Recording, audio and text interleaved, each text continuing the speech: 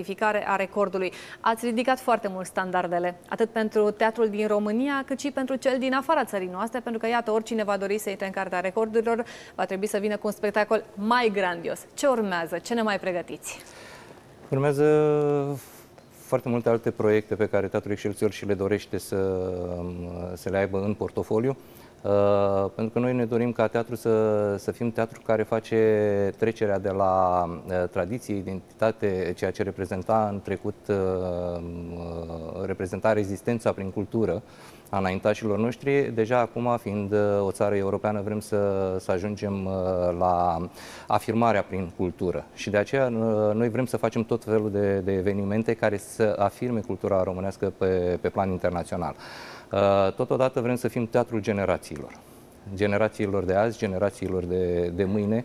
Vrem să aducem în, în fața generației de, de mâine, a adolescenților, vrem să aducem uh, frumusețea culturii românești, a poporului român. Uh, și pentru asta Acum a, a venit momentul mulțumirilor. Vreau să, vreau să mulțumesc primăriei municipiului București pentru că au avut încredere și ne-au susținut în realizarea acestui proiect și chiar în celorlalte proiecte, poate mai mici, dar fiecare cu importanța lui, fiecare proiect are importanța lui în ceea ce ne, ce ne dorim noi.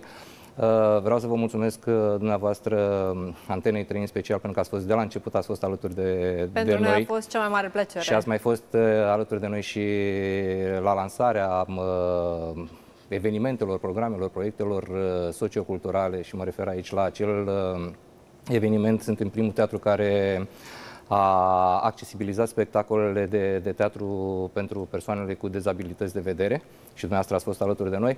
Uh, vreau să mulțumesc uh, jurnaliștilor din presa scrisă, din presa video, din presa, din uh, presa audio.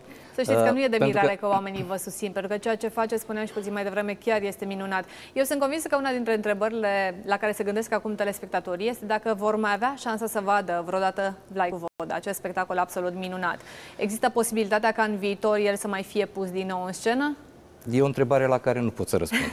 Uh, el mai poate fi, dar uh, sper că sper să să încercăm să, să reușim să, să fie, hai să spunem, uh, o primă cărămidă în construirea unui uh, muzeu al centenarului. Uh, mi-aș dori foarte mult ca decorurile să, să facă parte din cadrul unui muzeu al centenarului și odată montate decorurile, pentru că sunt decoruri, așa cum am spus și la lansarea acestui proiect tot la dumneavoastră, sunt case care pot fi locuite, sunt case care pot sta afară indiferent de intemperii. Uh, și mi-aș dori să, să le montez undeva și acolo să aibă loc tot felul de, de evenimente medievale, de evenimente pentru, pentru adolescenți, de evenimente chiar și pentru... La mine adolescenții sunt între 14 și 80 plus, așa că... Perfect. Uh, da, și uh, chiar și pentru, și pentru copii, adică să, să devină un... Uh, un sat medieval al, uh, al, al Bucureștiului. Cred că a fost una dintre cele mai frumoase lecții de istorie acest spectacol. Vă mulțumesc foarte mult, și vă felicit încă o dată și aștept să ne dați marea veste, că reușiți să duceți și acest plan la îndeplinire și să realizați acest muzeu? Eu am să vă dau uh, mai multe vești, dar uh, încet, încet, încet, încet uh, o să, o să vedeți evoluția acestui teatru. Nu ne oprim aici. Deci asta ne, ne obligă, această recunoaștere ne obligă și uh, trebuie să mergem mult mai departe și vă promit că vom merge mult mai departe. Pentru că Teatrul Excelsior există și va exista pentru că este teatrul unui vis, visul lui Ion Lucian. Am încredere în dumneavoastră și sunt convinsă că așa va fi. Mulțumesc tare mult! Să rămân.